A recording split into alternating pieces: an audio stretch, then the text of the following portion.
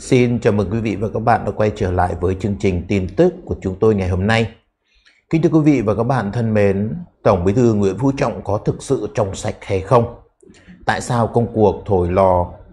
của ông bị thất bại? Chiều ngày 17 tháng 6 năm 2020 trong cuộc gặp mặt cử tri tại quận Cầu Giấy sau kỳ họp thứ 5 Quốc hội khóa 14, Tổng Bí thư của Đảng Cộng sản Việt Nam ông Nguyễn Phú Trọng, đại biểu Quốc hội cho rằng kê khai tài sản cán bộ là vấn đề nhạy cảm. Báo Tiền Phong dẫn lời của ông Nguyễn Phú Trọng cho hay vấn đề kê khai tài sản cán bộ là vấn đề rất khó, nhạy cảm bởi nó liên quan đến quyền đời tư, quyền bí mật cá nhân. Người đứng đầu của Đảng Cộng sản Việt Nam mong muốn cử tri tiếp tục tham gia đóng góp ý kiến để có thể hoàn thiện được luật phòng chống tham nhũng và sớm được Quốc hội thông qua. Ông Trọng cũng lặp lại phương châm trong thời gian qua đấu tranh chống tham nhũng là không có vùng cấm, đồng thời phải coi công cuộc phòng chống tham nhũng giống như cuộc đấu tranh chống giặc nội xâm, phải phát động toàn dân tham gia và phải làm quyết liệt hơn nữa để thu hồi được tài sản. Bên cạnh đó, vấn đề kê khai tài sản cũng phải quyết tâm làm và đặc biệt phải công khai kết quả. Trong khi đó, ngày 6 tháng 5 năm 2018, ngày trước khi ngày khai mạc hội nghị lần thứ 7 Ban chấp hành Trung ương Đảng Cộng sản Việt Nam khóa 12, hội nghị Trung ương 7, xuất hiện bức thư ký tên tập thể của 54 đảng viên Đảng Cộng sản Việt Nam có nhiều tên tuổi và yêu cầu ông Tổng Bí thư Nguyễn Phú Trọng phải công khai tài sản của mình. Theo những người ký tên, điều này cũng hoàn toàn phù hợp với tinh thần chỉ đạo không có vùng cấm trong chống tham nhũng. Lâu nay của nhà cầm quyền Cộng sản Việt Nam nói chung và của riêng ông Tổng Bí thư Nguyễn Phú Trọng nói riêng. Và trước người ta bảo chỉ đánh từ vai xuống, bây giờ thì ngay trên đầu là mạnh hơn, tức là Trung ương còn nghiêm hơn cả ở địa phương. Và rõ ràng rằng Đúng như lời của Tổng Bí thư nói, Trung ương cần làm gương cho địa phương và người đứng đầu Trung ương không ai khác chính là ông Tổng Bí thư.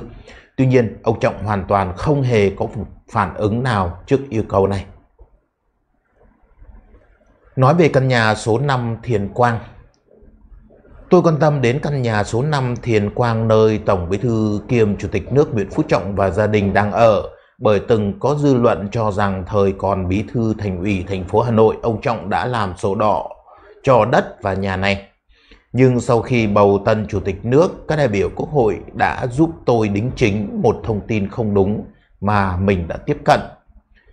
Thật sự là Tổng bí thư Chủ tịch nước Nguyễn Phú Trọng vẫn ở công vụ và đó là căn nhà số 5 Thiền Quang, một con phố nhỏ thuộc quận Hai Bà Trưng, thành phố Hà Nội có nghĩa rằng căn nhà này vẫn là tài sản của đảng. Theo tìm hiểu, đó là căn nhà công vụ từng là nơi của cố Phó Chủ tịch nước Nguyễn Lương Bằng. Trước lúc lâm chung, vị tiền bối Nguyễn Lương Bằng đã dặn người thân phải trả lại căn nhà cho đảng để chuyển đi nơi khác ở. Cũng trên con phố nhỏ này còn một căn nhà tương đối khang trang trước đây một vị tiền bối từng ở, đó là căn nhà số 4 của cố Bộ trưởng Bộ Công an Trần Quốc Hoàn. Cụ Hoàn từ trần, ngôi nhà ấy cũng được gia đình trả lại cho đảng, bây giờ là trụ sở của Ban Bảo vệ chăm sóc sức khỏe cán bộ Trung ương, nằm sát ngay căn nhà của ông Tổng tịch Nguyễn Phú Trọng đang ở hiện nay. Điều này nói lên điều gì? Quê của Tổng bí thư Chủ tịch nước Nguyễn Phú Trọng ở huyện Đông Anh, ngoại thành thành phố Hà Nội, có căn nhà và đất từ thời cha mẹ của ông để lại. Khi tuổi trẻ online đăng bài tân Chủ tịch nước ở nhà công vụ cuộc sống bình dị, một đại biểu Quốc hội thành phố Hà Nội đã gọi điện cho tôi nói rằng bộ vest mà hôm nay Chủ tịch nước mặc lúc tuyên thệ nhậm chức cũng là bộ vest mà ông đã mặc 12 năm. Kể từ khi ông nhậm chức Chủ tịch Quốc hội. Trước đó, đại biểu Lê Thanh Vân cũng nhận xét chúng ta có thể thấy từ cách ăn mặc của ông, ngoài những dịp thực hiện nghi lễ cần mặc vest, còn lại ông mặc thường phục những bộ quần áo rất giản dị, có những chiếc áo cũ đến sờn vai. Tôi cũng được biết thêm rằng với số tiền tiết kiệm không nhiều, Tổng Bí thư Chủ tịch nước Nguyễn Phú Trọng đã sử dụng một phần để mua công trái chính phủ. Phó chủ nhiệm Ủy ban Văn hóa, Giáo dục Thanh niên, Thiếu niên và Nhi đồng Quốc hội Nguyễn Văn Tuyết là một đại biểu Quốc hội lâu năm. Năm khóa liên tiếp chứng kiến hai lần ông Nguyễn Phú Trọng nhậm chức và ba lần ông Lệ Kiều. Ông Chủ tịch nước Nguyễn Phú Trọng phát biểu rất xúc động và tôi cũng rất xúc động khi nghe. Cảm nhận những lời phát biểu ấy, ông được Ban chấp hành Trung ương Quốc hội tín nhiệm gần như tuyệt đối. Nhưng lời phát biểu của ông vẫn hết sức khiêm nhường. Sự khiêm nhường làm được làm cho ông được nhiều người yêu mến hơn. Đại biểu Tuyết chia sẻ, những việc mà ông Tổng Bí thư Nguyễn Phú Trọng làm trong thời gian vừa qua, đặc biệt là công tác phòng chống tham nhũng xây dựng đảng đã tạo được niềm tin rất lớn trong một phần không nhỏ của quần chúng nhân dân. Nhưng thực tế, dưới góc nhìn của tôi thì ông Tổng tịch Nguyễn Phú Trọng phần lớn là diệt phe cánh mà trong dân gian ở Việt Nam người ta hay thường dùng từ củi rừng và củi nha. Củi nha thì ông xếp vào phe cánh chính trị của ông còn củi rừng là phe đối lập và những người vào lò tôn của ông thì phần đa trong số này là củi rừng, chiếm đến 99%. Và trong bối cảnh hiện nay, ông là người xứng đáng nhất để đảm nhiệm cương vị Chủ tịch nước và Tổng Bí thư trong khóa tới. Đó là ý kiến của nhiều người ở trong nước. Và kỳ vọng rất lớn rằng ông sẽ làm tốt với sức khỏe yếu, nhưng nhiều người kỳ vọng rằng ông sẽ làm được những điều này. Nhưng đó là cách nhìn nhận của một số người và cũng như một số cách bưng bô của báo nhà nước đằng như vậy. Bùi Nguyên Bảo 26 tuổi, nghiên cứu sinh học viện Ngoại giao Hà Nội, mở ra những hướng mới trong hoạt động đối ngoại. Tôi tin cả ở cấp độ song phương lẫn đa phương, Chủ tịch Nguyễn Phú Trọng sẽ đảm nhận tốt chức trách người đại diện Việt Nam về đối ngoại. Một vấn đề khác tôi quan tâm đó là thời gian nhiệm kỳ này không còn nhiều nên cần đào tạo chuẩn bị được nhân sự kế nhiệm. Ông Nguyễn Phú Trọng sai phạm trong quản lý đất đai ở Hà Nội ra sao? Ngày 18 tháng 3, Thanh tra thành phố Hà Nội vừa công khai kết luận vi phạm lại dự án tổ hợp dịch vụ công cộng, văn phòng và nhà ở tại phường Tây Mỗ, quận Nam Từ Liêm và đề nghị kỷ luật hàng loạt cá nhân trong đó có ông Nguyễn Văn Sửu, Phó Chủ tịch Ủy ban dân thành phố Hà Nội. Ông Nguyễn Văn Sửu, nguyên giám đốc Sở Kế hoạch và Đầu tư hiện đang giữ chức Phó Chủ tịch Thường trực Ủy ban nhân dân thành phố Hà Nội, bị đề nghị kiểm điểm do sai phạm liên quan đến dự án Dream Town tại phường Tây Mỗ, Nam Từ Liêm, thành phố Hà Nội. Thanh tra thành phố Hà Nội vừa công bố kết luận về việc thanh tra vi phạm tại dự án tổ hợp dịch vụ công cộng, văn phòng và nhà ở, tên thương mại là Dim Town tại phường Tây Mỗ, quận Nam Từ Liêm, thành phố Hà Nội. Dự án do công ty cổ phần cơ khí xây dựng Đại Mỗ, công ty Coma 6 làm chủ đầu tư. Theo kết luận của cơ quan thanh tra trong quá trình thực hiện dự án, công ty Coma 6 và một số cơ quan khác đã để ra nhiều sai phạm, đã xảy ra nhiều sai phạm và theo đó công ty Coma 6 đã sử dụng 37.238,6 m2 đất tại xã Tây Mỗ, huyện Từ Liêm, nay là phường Tây Mỗ, quận Nam Từ Liêm từ năm 1966 để sản xuất cơ khí. Năm 2008, công ty Coma 6 tiến hành lập dự án và đề nghị Ủy ban dân thành phố Hà Nội cấp phép chuyển đổi mục đích sử dụng 37.000 m2 đất thuộc sở hữu của công ty này. Đến năm 2009, Ủy ban dân thành phố chính thức chấp thuận cho phép Coma 6 hiện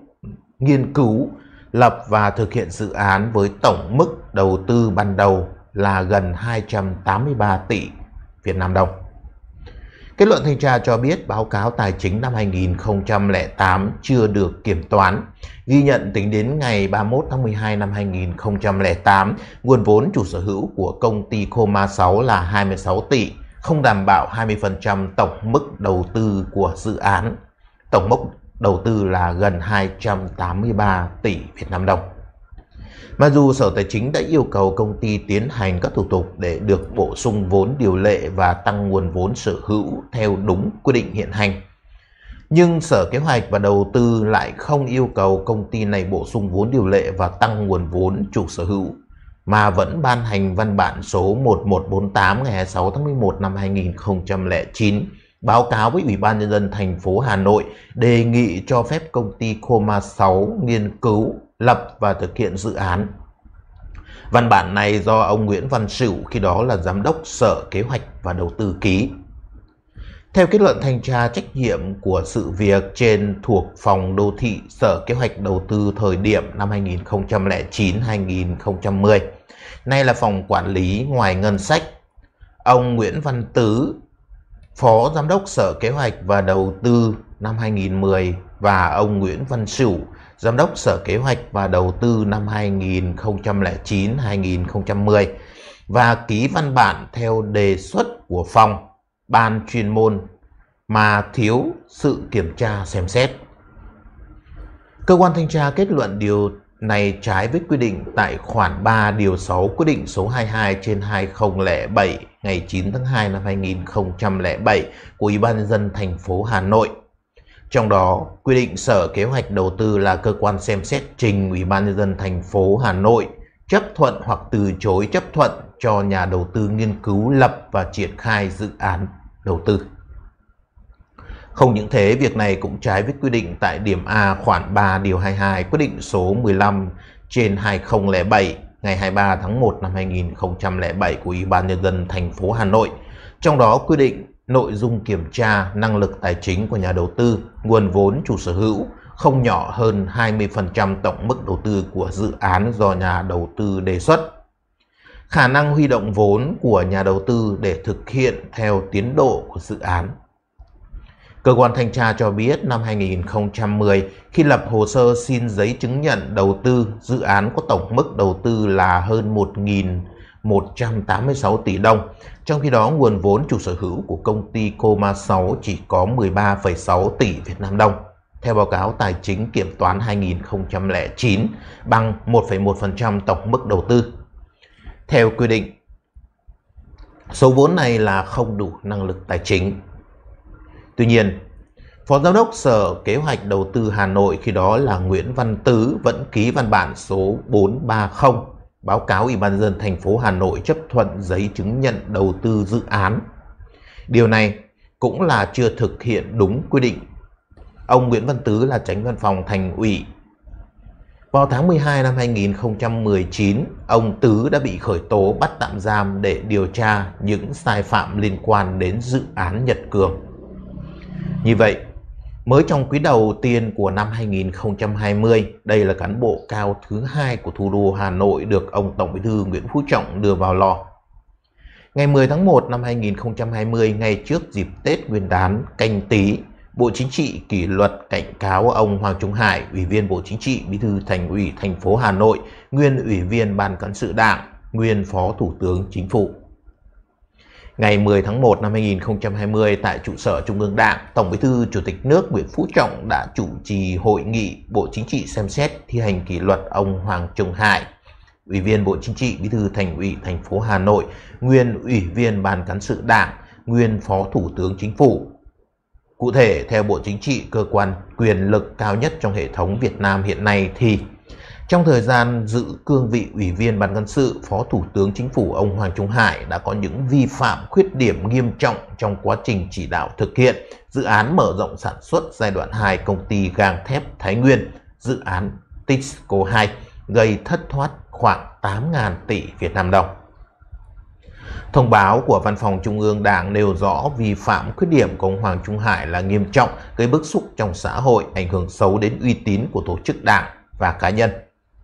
Các sai phạm của ông Hoàng Trung Hải được nhắc tới lần đầu vào ngày 9 tháng 12 năm 2019 khiến cho dư luận trong nước quan tâm theo dõi cũng như thắc mắc về mức độ kỷ luật sẽ như thế nào và sự nghiệp chính trị của ông Hoàng Trung Hải sẽ đi về đâu.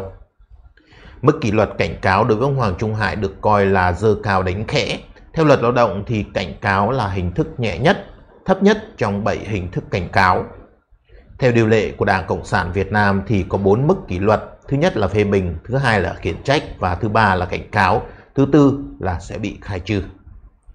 Phê bình thì không ghi lý lịch nhưng từ khiển trách, cảnh cáo đến khai trừ thì sẽ phải ghi lý lịch và sẽ có hậu quả về mặt hành chính nhà nước chứ không chỉ là kỷ luật đảng nữa. Công cuộc đốt lò của ông Tổng Bí thư Chủ tịch nước Nguyễn Phú Trọng được đánh giá là không công bằng, không đến nơi đến chốn và không triệt tiêu được tận gốc rễ của tham nhũng. Đó chính là thể chế độc đảng dẫn đến độc tài và độc quyền của Đảng Cộng sản Việt Nam. Nếu như trường hợp của ông Đinh La Thăng đương kiêm ủy viên Bộ Chính trị, bí thư thành ủy thành phố Sài Gòn, bị khởi tố hình sự và bị tuyên với mức án nặng nề 30 năm tù giam về tội cố ý làm trái quy định của nhà nước về quản lý kinh tế, gây hậu quả nghiêm trọng trong vụ tập đoàn dầu khí Việt Nam PVN góp vốn vào ngân hàng Đại Dương Ocean Bank và vụ xây dựng nhà máy nhiệt điện Thái Bình 2.